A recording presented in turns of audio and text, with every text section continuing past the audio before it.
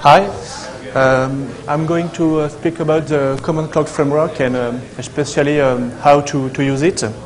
So first, uh, let's introduce myself. I'm um, Gregory Clement. I'm working at uh, Free Electrons uh, when uh, we do development um, on embedded uh, Linux and we also give training on the same subject. Um, I'm contributing to um, kernel support uh, to the um, new um, Armada 370 and uh, Armada XP and ARMSOC from uh, Marvell. And uh, I'm co-maintainer of uh, the MVEBU subarchitecture. Uh, MVEBU stands for uh, Marvell Embedded Business Unit. And I'm uh, living near Lyon in France. Um, so what we are going to see is uh, what the common framework is. So we are just focused to uh, which on the three road. Um, we are going to speak about uh, the implementation of the common clock framework and uh, see some uh, uh, example of it. Uh, then how to add your own clocks, uh, how to deal with the device tree, and uh, finally uh, uh, a view of how the device uh, use the common clock framework. Uh, so, uh, clocks. Uh, most of the electronic chip um, are driven by clocks. So most of the time, if you don't have clock on a chip, it just don't don't work.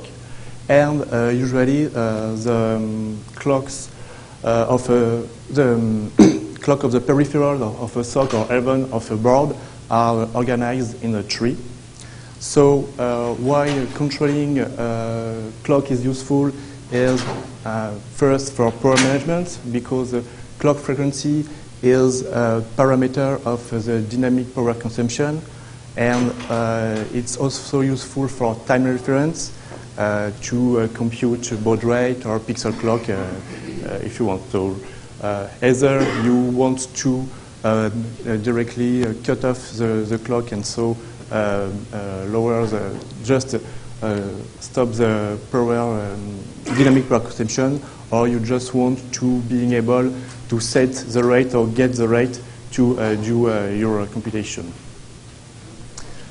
Uh, then the framework, so the clock framework uh, is uh, available uh, for many years. Uh, when I do some research on it, uh, it my research ended uh, at uh, 2, uh, 2.6.12 uh, kernel because uh, it came from the prehistory of Git.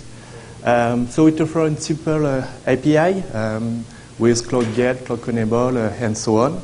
Uh, it's very nice, but it had several drawbacks and limitation.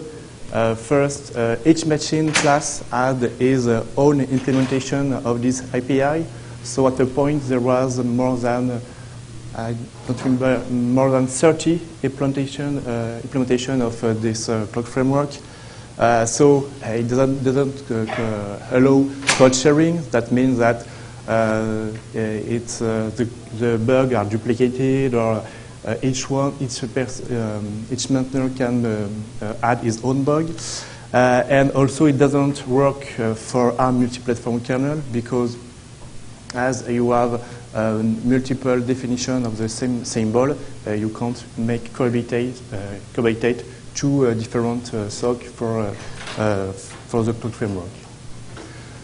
So that's why we can, with a common clock framework, it started now three years ago by the introduction of the common struct clock um, by Jeremy Kerr, and it ended last year uh, by um, the merge of the common clock framework, uh, as we know it, in uh, uh, kernel 3.4 uh, by uh, Mike Turquette. Um, the, it, it, it implements uh, the clock framework API. Uh, it uh, provides some basic uh, clocks uh, driver, and it also makes possible to um, uh, implement your own uh, custom clock driver. It allows also uh, to declare the available clock uh, and the association using the device tree, so it's a preferred way, but you can also uh, still use uh, the, the source code directly. It's the whole method uh, can be still used for legacy region. Uh, it also provides a debugFS representation, and it is now implemented in the driver clock CLK directory rather than in the Arch uh, uh, directory. So here's the uh, diagram of the common clock framework. it's the same as the, the one you will see in the Thomas presentation uh, at the end of the day. Uh, so uh, we have the clock framework, which exposes the, the clock framework API and which is used by the device driver. This clock framework gets uh, all the information, usually it gets information about uh, the different clock driver and their uh, resource from the device tree. It also exposes the different clock uh, to the device tree, and they, it, will be used directly by the device driver. And uh, it uses uh, the different clock driver to access to the hardware. So we have the five basic clock driver provided by the Common Clock Framework, and you can add your own uh, clock driver for specific uh, uh, needs. Um, the interface of the Common Clock Framework is um, uh, composed uh, of two halves. First, uh, the, common, the core of the uh, clock framework. Uh, here you have the um, common definition of the of struct CLK. Um, you will find this de declaration in uh, clk.h, and it is defined in clk.c. Um, you have the uh, clocks ops struct, uh, which uh, is uh, uh, where all the operations uh, are described. And um, usually you are not supposed to modify this part of the common clock framework if you just to want to add your clock framework, your um, clock driver. Then you have the hardware specific part. Um, so here uh, there are the callbacks you register uh, with the struct clocks. They, uh, um, they you, will, you will implement your specific part here. So and it will correspond to your own struct. So let's call it uh, clock foo. And uh, this part has to be written for uh, each new uh, type of hardware clock.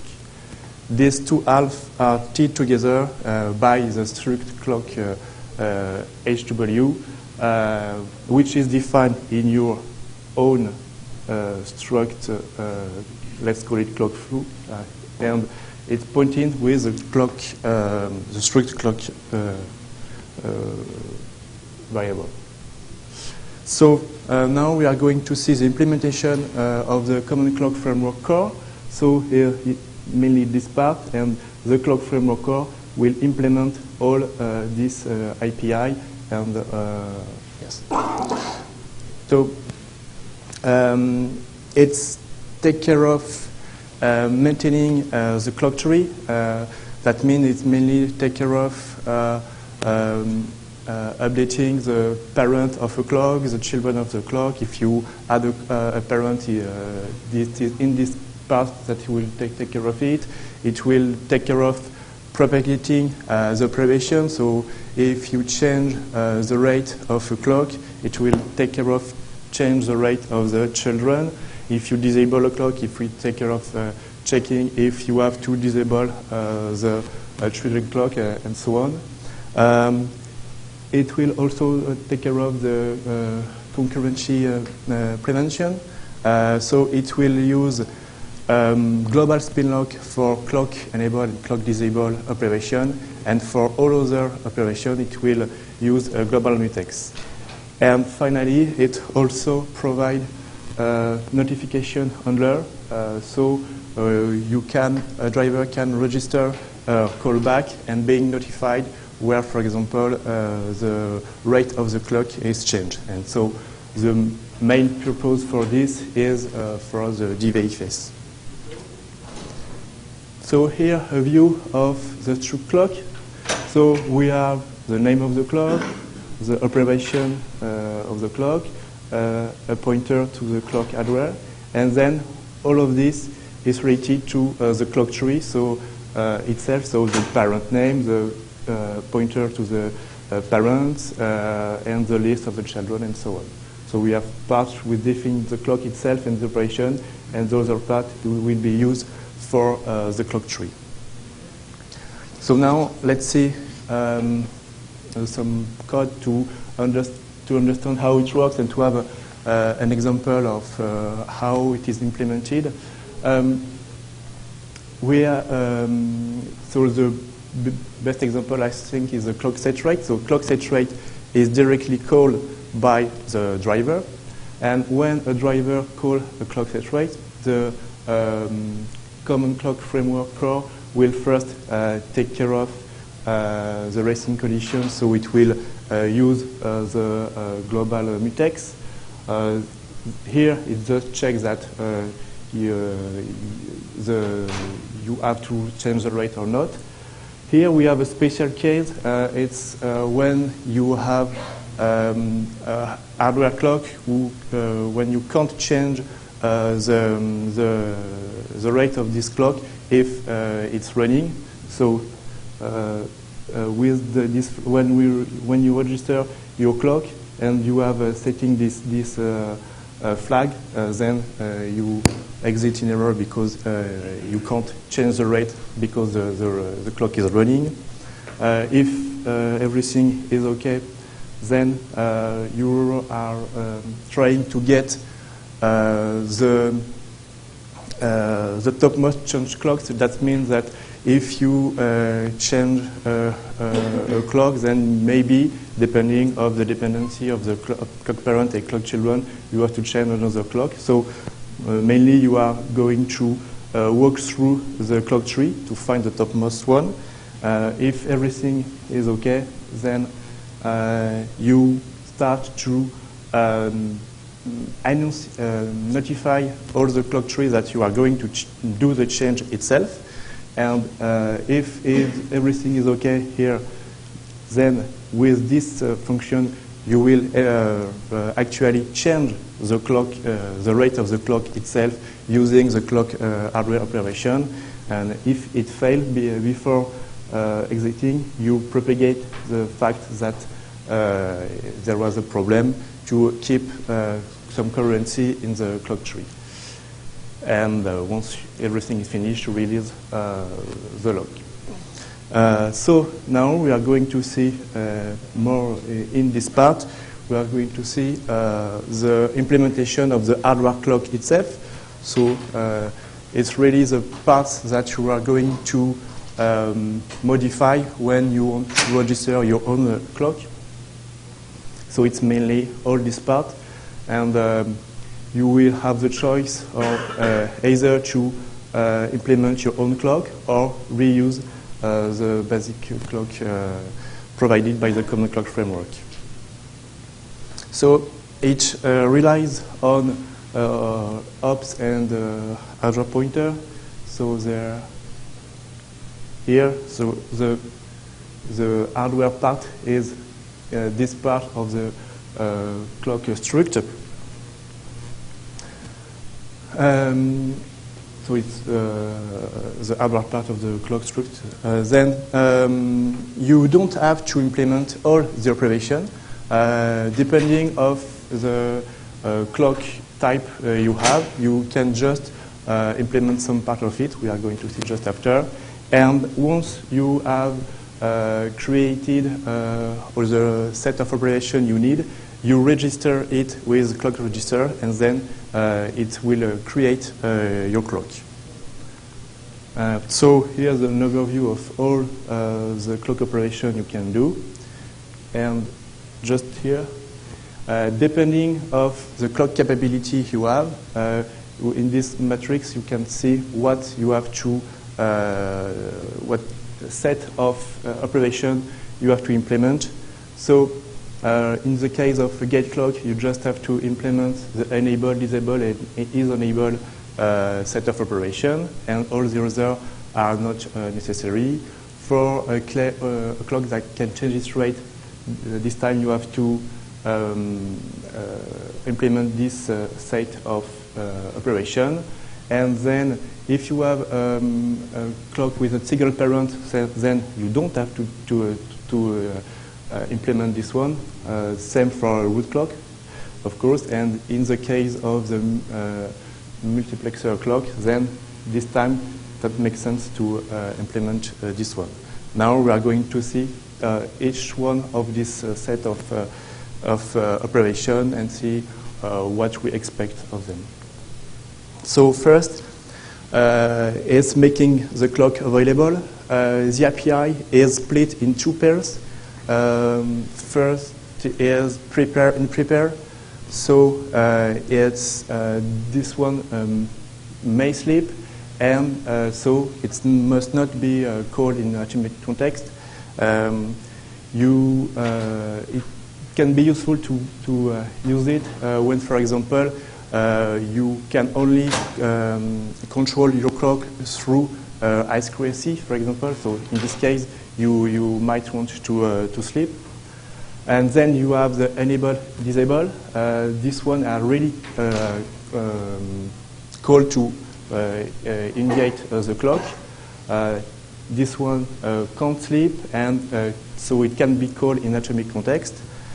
Um, so most of the time you can just implement uh, one uh, of these doors. It will really depend of, uh, of your hardware and of if you need or if you want to be able to call it in atomic context. And you can also uh, implement both, and so you can, uh, as the name, prepare uh, all the things before actually enable it. And the last one um, is enable. Uh, this one is through uh, uh, to create, the hardware um, because usually once you just to, to see if a clock is enabled or not, you just have to uh, see the flag, but this function is to uh, uh, go to see it directly in the hardware. Uh, the other set of operation uh, is about managing the rate. So uh, round rate um, returns the closest rate that uh, your clock can uh, actually support. So is it called directly by uh, the API clock round rate, or it also used when you do a clock set rate during the propagation of uh, your new rate. Uh, the, this function is called by the core of the common clock framework. Then uh, set rate is actually change the rate. So it is uh, obviously called when you do a clock set rate or also when there is, when there is a propagation of the rate uh, on the clock tree. And finally, uh, recalc rate. Um, it is, this one is, not, uh, is never directly called uh, by a device driver, but it is uh, used internally when the, the core of the clock framework wants to update the clock tree. Um, now, uh, when you have um, a multiplexer, uh, in this case, you uh, want to deal with the parent of your clock. So get parent, in fact, is uh, will uh, directly uh, address the hardware to see uh, to find the parent, and it's only used when uh, clock are statically initialized. Um, and uh, clock get parent. don't use this one, but just um, return the clock parent internal struct. set parent uh, this one is uh, called when you do a clock set parent, and it will, uh, how it works, the, the prototype of this function will receive an, an index of either the dot parent name or the dot parents array, and in the uh, clock set parent function, which is implemented in the clock common uh, framework, uh, in, this, in this function, you, uh, the clock which is received as parameter will be translated as uh, an index which can be used by uh, the function set parent. Now, um, we are going to see the, the five base clock which are provided by the uh, clock framework. Um, so the first one is a fixed rate, so it's uh, by definition is always running and always provide the same rate. then you have the, the gate, the gate clock. Um, it has the same rate as its parent, and it can only be gate or ungate. The MUX uh, just allow to select uh, uh, the parent between uh, uh, an index of parents he received and as the, the other it gets his um, rate from his parent. The fixed factor divide and multiply the parent rate by a by constant and it can get or ungate. Uh, and the divider uh, divides the parent rate and it uh, receives at parameter array of, um, of divider. So, in fact, most of the clock you will find on the SOC or on a board can be registered using uh, one of these base clock or um, uh, at least for more complex uh, hardware clock, you just have to split it in base clock. So for example, if you have a, a, a clock, a gate clock, um, uh, a simple gate clock, then you have, you have to uh, uh, split it in, in two clock, a fixed rate clock, which will be a parent of a, gate clock.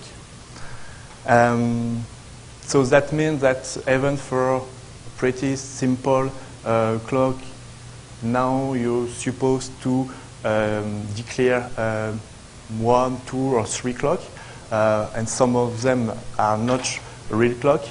Uh, that's why uh, there is a new chip uh, which is which has been submitted recently, which is clock composite, and this new type will allow to aggregate, aggregate the uh, functionality of the basic clock chip, but uh, will uh, present only, only one clock. it's still under review, but it should be accepted soon. last thing, um, the last um, operation we can see is about static initialization. Uh, there's still a big paragraph of the documentation about it, and you can still find um, some code uh, about it. Uh, so it has been taken, put in place to ease the migration of the component clocks to the common clock framework because uh, when the common clock frameworks uh, was merged in the kernel, there was already uh, a lot of SOCs who, who which use uh, the framework, the clock framework API, not the common one. And so they already have uh, 100 clock uh, statically defined. So uh, this um, API was just is to um, make possible to reuse all this uh, uh, statically defined clock and directly convert it, convert them in the common clock framework. So for new uh, driver, for new SOC, uh, you are not supposed to use uh, the clock init and not supposed to include clock preread, but it's still possible, even it's not recommended, to use static initialization. So, but in, the, in this case, uh, you must use clock register, and you just have to uh, use clock init data object and bundle it in uh, bundle them in the clock hardware structure and register them directly. So we have seen the core of the common clock framework. We have seen the implementation of them. And now uh, we are going to see the device tree. And the device tree uh, will be used for two things. Uh, the first thing, which is pretty common for uh, most of the driver, uh, is just to um, get the resource for, uh, for the driver. So for each one of, of these uh, clock, we, we, will get the resources and the, um, the parameter from the directory, but it will be also used to uh, expose the clock and uh, that, that will be used by the device driver. So first, um, the device tree so is still the preferred way to declare the clock and to get its resource. Uh, the something with uh, common from most of the device uh, of the driver uh, when you want to uh, register uh, your driver using the device tree. You part the device tree, you set up your clock, your clock driver, um, getting the properties and the resources. So what you do, you create an array of struct device ID to match uh, the compatible clock uh, your uh, driver will take care of. And then you associate data and setup function with them. So here as an example. Um, so in uh, DTSI, um, we have uh, the name of the clock, the compatible uh, string. Here is a, just a fixed clock, so uh, you just need the property clock frequency, and the, uh, it will set up uh, this this rate. Um, for an, another example, is uh, this clock. So as we have said, uh, the clock uh, are organized as three. So this one will use uh, this clock as parent clock. So it is done by this clock equal and reference on this one. And uh, for uh, there is a special driver which has been defined uh, and register with this um, uh, compatible name. And uh, for this one, we need a special resource. So this, I thought it was an offset of the register in the um, for the Calxeda driver. Um, so in, for the code, um, here we uh, define uh, uh, device ID, so, and the match, so here is just an extract. So fixed clocked will uh, be, be used uh, and associated with OF fixed clock setup. So what we, uh, what we do is just to uh, call OF clock init with the uh, matching here. And uh, um, what do OF clock init? It will parse uh, the um, device tree, uh, and uh, as soon there is a match, then it will get from this particular function, it will get the function passed as data and call it. And so how it is done here, the setup. here we just get the name, get uh, the clock frequency, uh, set up, uh, and just set up uh, the register the, the, the, clock. So here, even if we uh, declare it as a special uh, uh, clock for, for in fact, it's just use one of the uh, five basic clocks, which is the fixed rate clock. Um, a more complex uh, example um, is, um, for example, for the CPU clock or the core clock, uh, here we state that uh, we have a clock cell of one. That means that instead of declaring uh, just uh, one clock, we'll declare uh, array of clock, so it's still possible. And uh, that means, for example, that when you want to depend of one disk clock, you specify the name of the um, uh, node and uh, a number which will indicate which one of the clock you, you want to pick up in, the, in this array. So how it works, uh, as usual, uh, here we have, but it's just for uh, our own implementation, we have our structure because we have a different function we are going to use. here you have still the clock match, but uh, instead of uh, passing a function, for the simple example here, we pass our own uh, structure. Uh, he, this the um, core clock init, uh, as you see, is very close to the OF clock init, so the same thing. We pass the device tree, and as soon as we have a match, we get the data, and this time we are going to call our uh, function mvebu clocker setup with uh, the, the, data we passed. And in this function, um, so we get the resource uh, as usual, but here we are going to uh, create uh, an array of clocks. So that's why uh, it's just after no. Um, ah yes, just sub example, but uh, here, there is more of this. In fact, we uh, have uh, a loop when we register a lot of clock, and then at, at the end, we just register one clock at a time. So the second part, which is um, less uh, usual uh, with device tree and with driver, is to expose uh, the clock to the device tree. Because here we are just getting resource uh, from the device tree. Uh, but now uh, what we, we want is that the devi other device drivers are going to use our clock.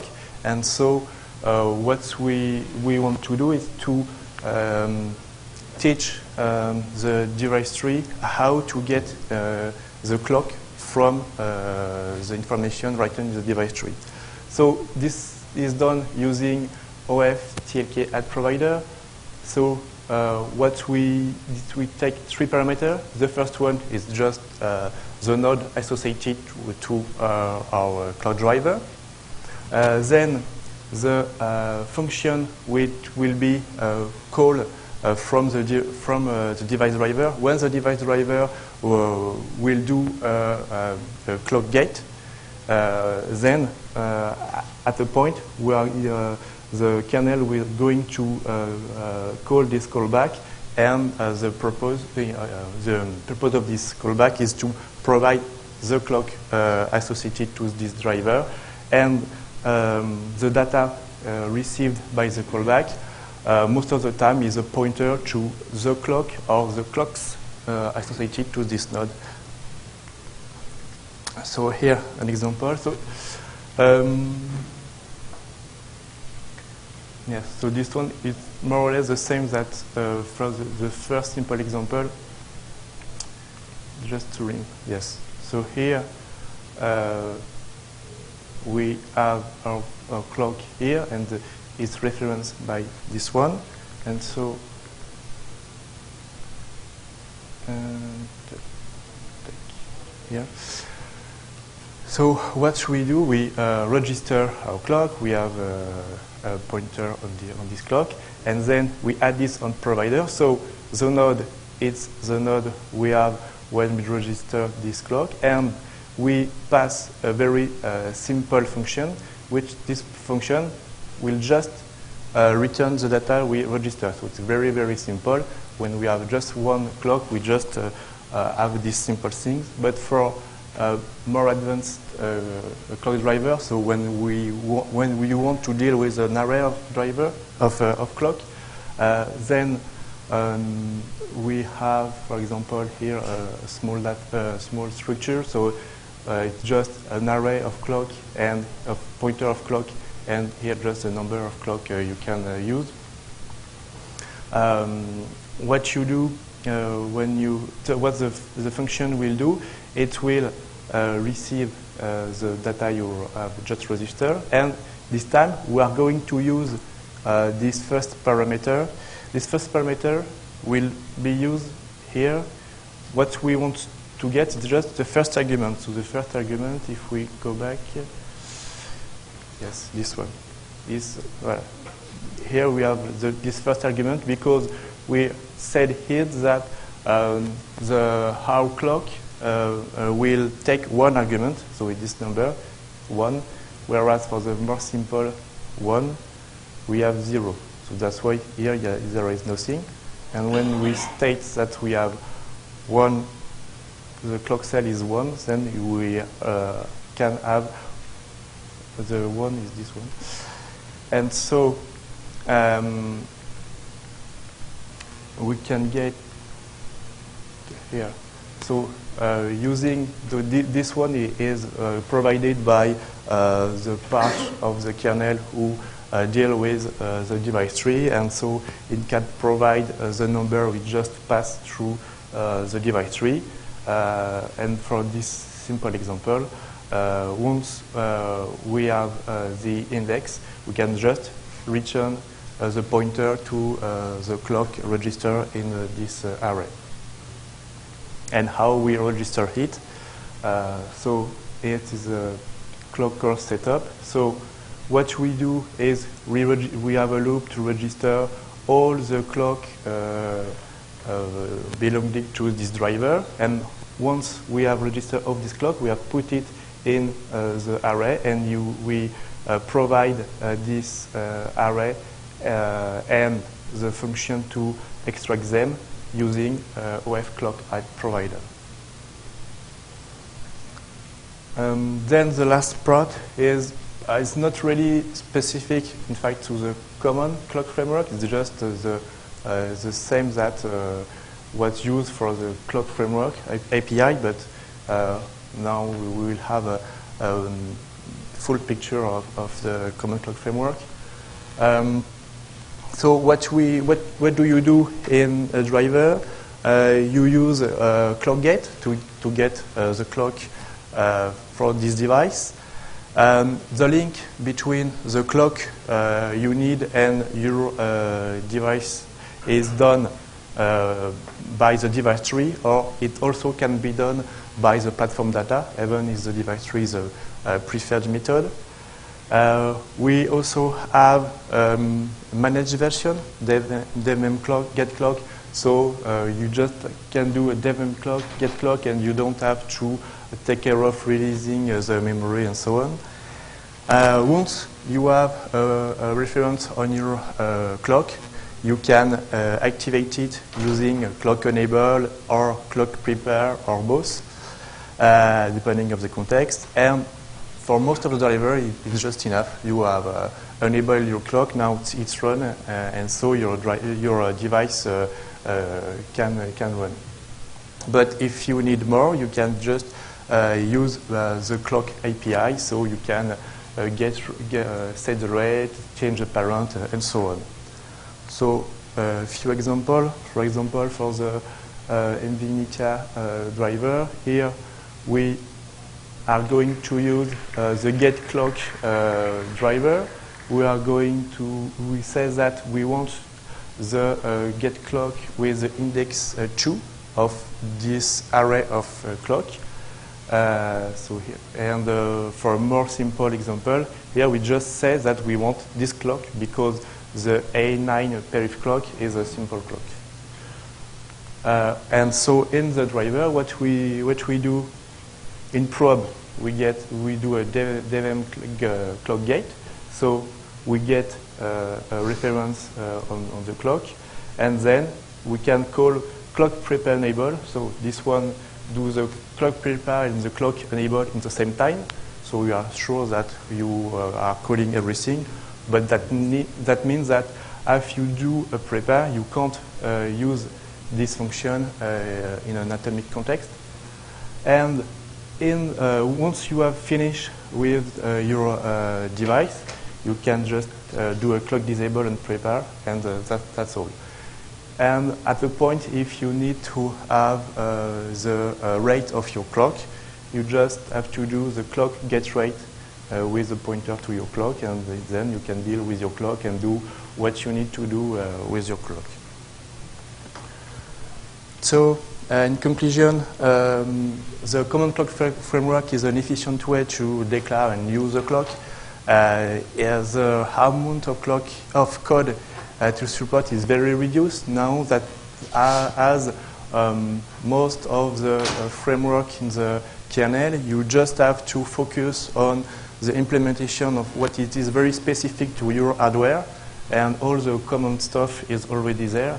So, uh, as you have seen, for a very simple clock, you, it's just a, a, couple of lines. If you have a, uh, just a, a, fixed clock, uh, you just have to say uh, to call a clock at a fixed, uh, uh, fixed clock, and, and that's all. And even for more complex one, you can try to split in a simple clock and call all, all, of them. And soon, with the composite clock, you can just have one clock, but be able to use the framework from the other. Uh, it's still quite recent, so that means that uh, uh, complex SOCs still need to finish their migration. Uh, it's, uh, it's not, uh, not yet finished. So that means that if um, you want to have some example from the kernel, you must pay attention of if the clock are finished their migration or it's the old way they use it. And uh, the incoming feature uh, are the DVFS, a patch set from uh, Mike Turquette. Um, which will be allowed to uh, change the uh, clock rate according to the voltage or uh, change the voltage according to the clock rate.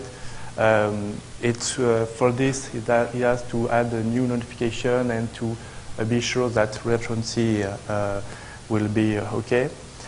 Um, Prashant Gaikwad uh, also had so the composite clock, which will be help to uh, uh, just have one single clock and be able to to, to use the clock operation already available. And it he also improves the, the debugfs output because currently the debugfs is you have one directory for each clock, so it's very convenient when you want to debug and uh, want just to see some information, but if you want to have a, uh, a synthetic uh, view of your clock, uh, it's maybe uh, um, less, use, uh, less useful. So Uh, this new output will uh, will uh, use a JSON style. So in one single line, you, you can be able to parse this, this data and uh, do what you uh, with it. So thanks for your, your attention, and uh, if you have any question, you can ask me, and I will ask to Turquette to answer it.